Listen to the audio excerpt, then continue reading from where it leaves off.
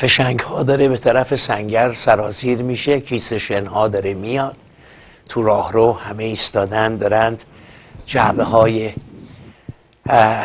لوله های توپ پر می‌کنن دارن تانک رو در تمیز می‌کنن دارن نیرو میدن و با هزار عشق با هزار درود به منوچهر و نسرین عزیزم که حدود 6 هزار دلار جمع شده بود 5 هزار دلار اضافه کردن. و مبلغ به نزدیک 11 هزار دلار رسیده. حضورتون ارز کنم که به مناسبت 22 بهمن پیام سازمان سرباز سرهنگ ستاد هوشنگ وزین رو براتون می‌خونم.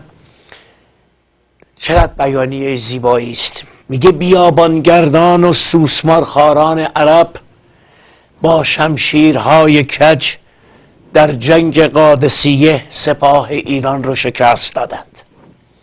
و شد آنچه که نمی باید شد.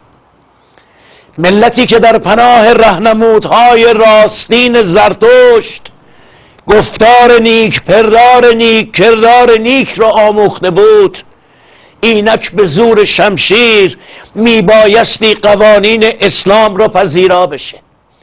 و دیدیم چطور همین ملت بعد از مدتی کاتولیکتر از پاپ شد. دودمان و سلسله ها یکی پس از دیگری می آمدند و می رفتند و در این میان حمله مغول تیمور لنگ و تاتارها نیز مزید بر علت شد. چرخ زمان گذشت و این بار نوبت به سلسله جلیل ترکمنهای گرگان رود رسید. زمانی که در اروپا ملت ها به سرعت برق و باد به سوی ترقی و تکامل و توسعه صنعتی و کشاورزی می رفتند پادشاهان این سلسله که در خواب خرگوشی قافل از حال ملک و ملت بودند تا توانستند استانها و شهرهای آباد ایران را دو دستی تقدیم دشمنان ایران و بخصوص تزارهای روسیه کردند. به ناگاه هموطن نازنینم که سی و یک سال در این رژیم اسلامی و دشمنان خودفروخته ایران زمین با شناسنامه های ایرانی به نام روشنفکر و اندیشمند میشی.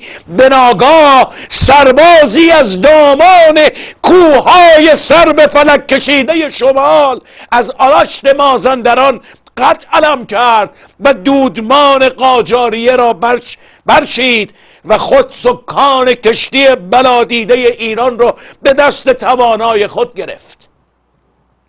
میراث قاجاریه که شطور و شپش و شاهزاده بود رو برکند و ایران رو به سوی ترقی و تکامل به پیش برد و کرد آنچه همه می‌دانند و نیاز به بازگو کردنش برای آنها که قلبی در سینه مغزی در سر و عشق و روحی در بدن دارند. همه می‌دانند.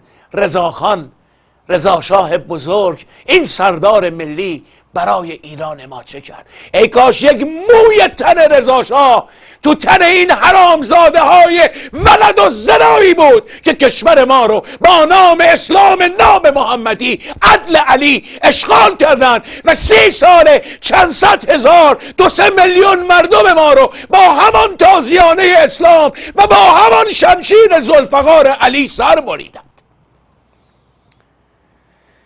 فرزند برومند وی محمد رضا شاه پهلوی آریامه ایران پدر. روح شاد ادامه دهنده راه پدر در اعتلاع وطن گردید. بیمارستان ها دبستان و دبیرستان ها دانشگاه و دانشکده ها و مدارس عالی و صد و جاده و پتروشیمی نیروگاه اتمی و ارتش شاهنشاهی ایران بنا نهاد و هر روز به آن رونق بیشتری بخشید. اگر انسان بیطرفی بخواهد از پیشرفت ایران در اصل پهلوی ها و مظاهر تمدن و ترقی و اقتصاد سالم و ذخایر ارزی لیست و یا لیستی داشته باشد و یا سیاهی داشته باشد بی اقراق مصنوی هفتاد من خواهد شد. من آگاه هموطن عزیزم دشمنان طوفان ویرانی رو به سوی ایران به راه انداختند و ناگاه طوفان ویرانی وزیدن گرفت و ایرانی آغازیدند که حمله مغول و تیمور لنگ در مقابل آن رنگ باخت. سران پنج کشور صنعتی غرب به خاطر منافع خود در کنفرانس گوادالوپ تصمیم به نابودی اقتصادی ایران ایران و ایرانی گرفتند و با کودتایی که در آن کنفرانس سرش را ریختند کشور ما رو به نابودی و زوال کشیدند. چون آنها دیگر قادر به رویارویی با سیاست های اقتصادی مردی توانمند و ابرمردی وطن پرست که نامش آریامهر بزرگ ایران پدر بود دیگر قدرت رویارویی با او را نداشتند. او می‌رفت تا کمر غرب در زیر فشار اقتصادی ناشی از اعمال قدرت اعمال قدرت از طرف پادشاه ایران خم و شکسته شود. بزرگترین کمپانی ها و شرکت های اروپایی قسمت عمده سهامشان توسط ایران خریداری شده بود. ذخیره ارزی به بالاترین مقدار خود رسیده بود. طوفان آغاز شد و این طوفان بود که ملاهای بیکس و کار این کثیف در این قشر اجتماع و عناصری از جنبش چپ ایران به سرکردگی حزب خائن توده و سرویس های اطلاعاتی غرب چون بی بی سی و کاگبه مردم را به خیابانها ریختند و در چشم هم زدنی با کمک مزدوران و جیرخاران خارجی که در دستگاه های پادشاهی رخنه کرده بودند. نظیر شیطان لنگ خالق رشیدی مطلق داریوش آبایون و بسیاری از مزدورانی که همچون مار خوشخد و خال در آستین پادشاه جا کرده بودن خودشون رو مردم رو به خیابانها ریختند و در چشم هم زدنی. هر آنچه را که آن پدر پسر در طول بیش از نیم قرن برای ایران به وجود آورده بودند با خاک یکسان کردند. و بدین سان 22 بهمن این ننگینترین روز ازای ملی ملت ایران جان گرفت و روز شومی شد که از آن روز خون و خون ریزی تازیانه و تبر چاقو و گلوله بر سر و روی فرق ملت ایران نشانه رفت. سازمان سرباز این روز شوم 22 بهمن را که آن را ازای عمومی ملت ایران می‌داند به عنوان سیاه ترین برگ از زندگانی ملت ایران اعلام نموده و از همه میهن پرستان می‌خواهد که در راه نابودی این رژیم لحظه درنگ ننموده و با تمام وجود از سنگر ملی مردمی آریامر که تنها سنگر مبارزاتی برون مرزی است حمایت نموده و با چنگ و دندان تا نابودی کامل این رژیم نباید از پای بنشینند و با تلاش و کوشش بار دیگر ایرانی آباد و مستقل رو به نسلهای آینده بسپارد.